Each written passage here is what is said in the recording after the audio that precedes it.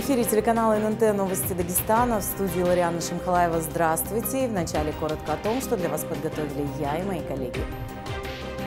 Последний призыв старого формата. Какие изменения ждут новобранцев российской армии в следующем году, узнаем скоро.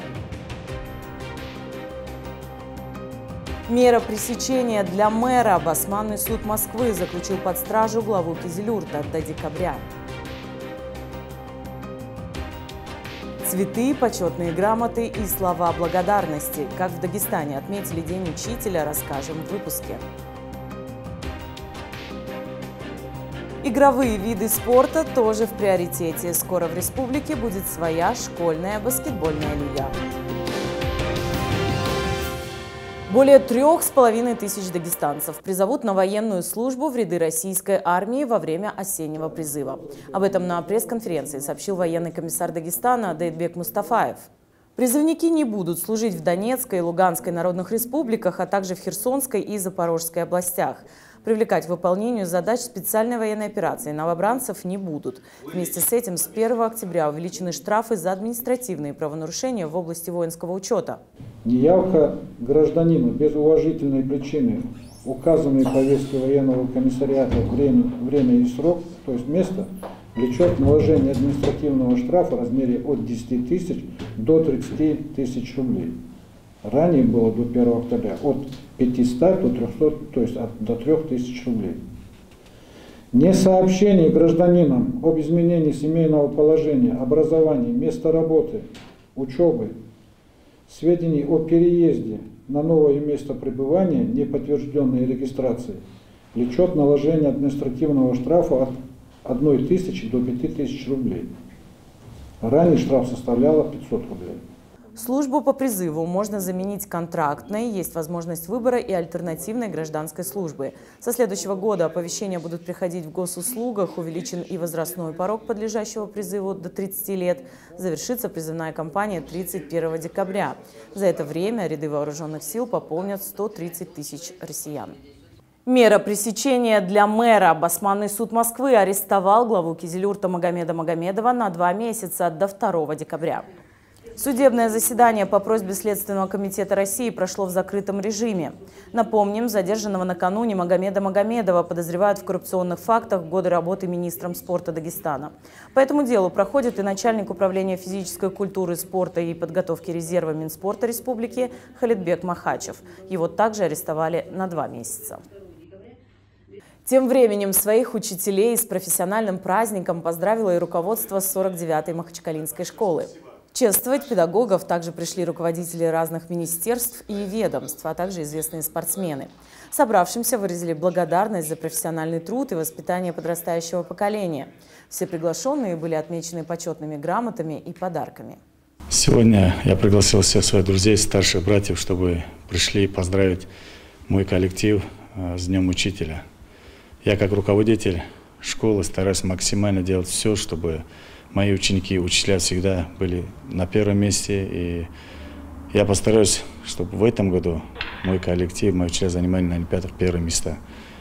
Я хочу поздравить всех дагестанцев, всех педагогов с праздником, с Днем Учителя. Хочу пожелать всего самого-самого доброго, терпения. Это очень тяжелый труд. Здоровья, всех земных благ. Свой профессиональный праздник отмечают учителя – в Дагестане в сфере образования трудится около 50 тысяч человек. Для них и был организован образовательный форум «Педагогика, сотворчество и созидание». О том, как прошел форум, расскажет Тамара Самедова. День учителя в Махачкале решили отметить масштабно. Праздничное мероприятие проходило сразу в нескольких локациях города, но началось все с традиционного возложения цветов в одном из столичных парков – Среди гостей чиновники, депутаты, ну и, конечно, главные герои мероприятия – учителя.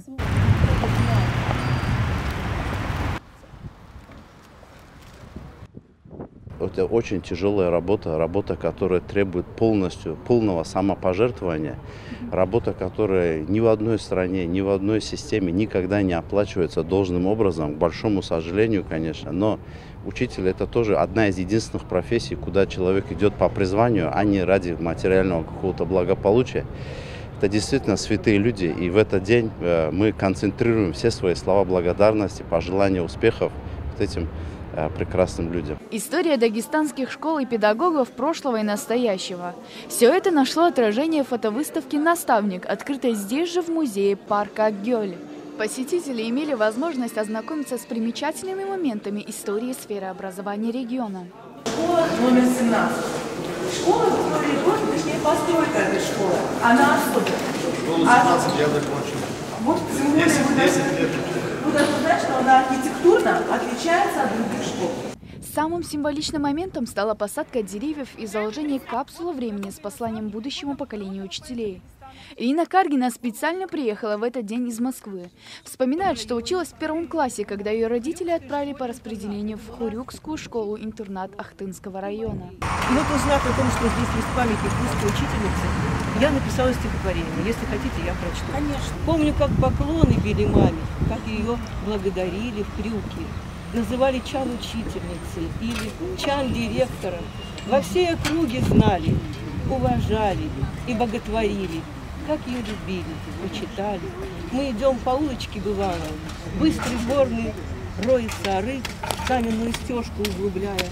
Женщины, как добрые подружки, ей желают много-много лет.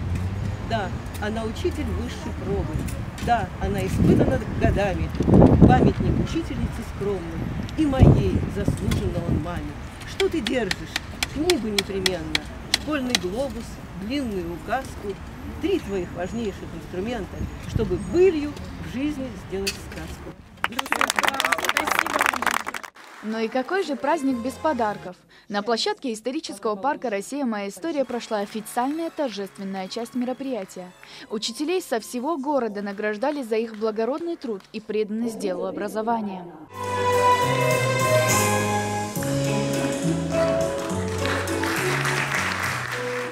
Тамара Самедова, Шамиль Киресулаев, Новости ННТ, Махачкала.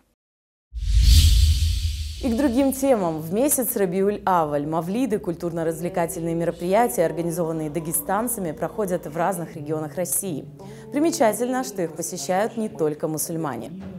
В программе посещения представителей муфтията республики, города Дальнего Востока, Средней Азии, Мурманск, Брянск, Москва, Санкт-Петербург и другие. Самый уважаемый человек, которого я знаю, это шейх Ахмади Афанди, человек, с которым, человек, с которым так посчастливилось, что я встретился буквально в этом году, и до сих пор я нахожусь под впечатлением этой встречи. Это удивительный человек.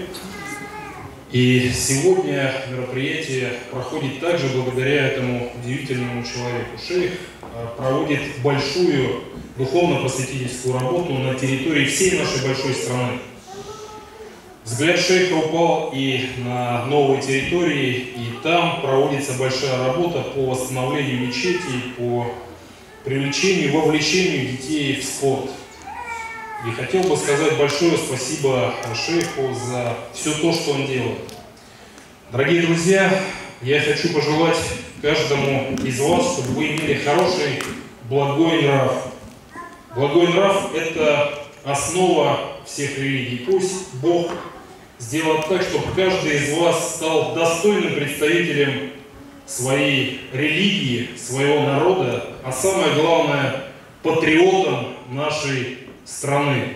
Дорогие братья и сестры, давайте с этого дня будем стараться изучить жизнеописание пророка, саллиллаху алейхи вассаляма, следовать за этой сунной, следовать за пророком, саллиллаху алейхи вассаляма,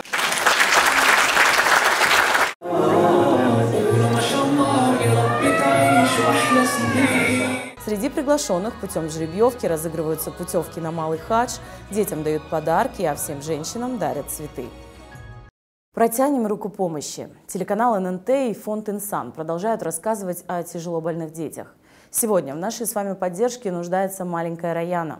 У девочки задержка психоречевого развития, и ей необходима реабилитация, которая стоит немалых денег. Подробности в сюжете Камилы Мехтихановой. Отходит. Умничка. Подожди, где ручка? На. Поставь. Жик, жик, жик, жик. Есть! Ура! Раяне скоро исполнится три года. Задержка в развитии ребенка очевидна.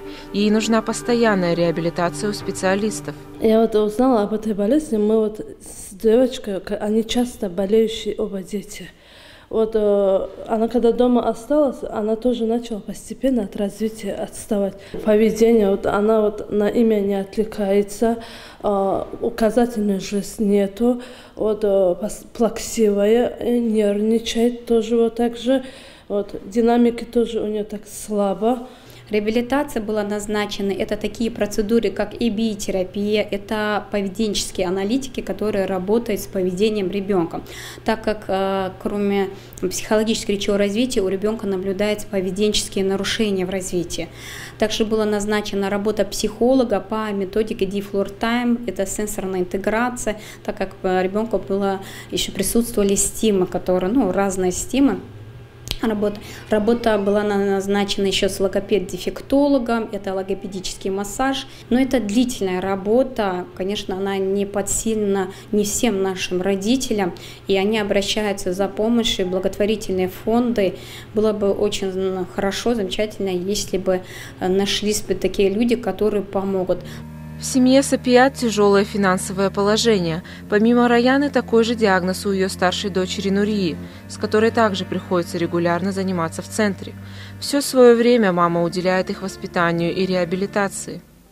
С мужем вместе вот так воспитываем детей двоих, но уже в последнее время тяжело что-то лечение это делать. Вот на флор тайм э, как-то получается, я вот э, кредит тоже взяла, чтобы ей лечение это сделать, как-то флор-тайм оплачивать. Поэтому я и обратилась в фонд «Инсан». Фонд «Инсан» открывает сбор для Раяны Хайрулаевой. Необходима сумма в 200 тысяч рублей. И мы с вами тоже можем помочь маленькой девочке.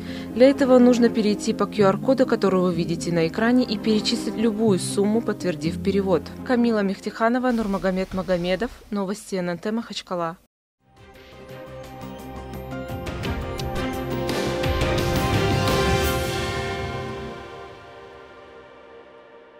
И к новостям спорта. В Дагестане появится школьная баскетбольная лига. Республика присоединилась ко всероссийскому проекту «Кэс Баскет», который реализуется на территории России с 2007 года и насчитывает 15 сезонов.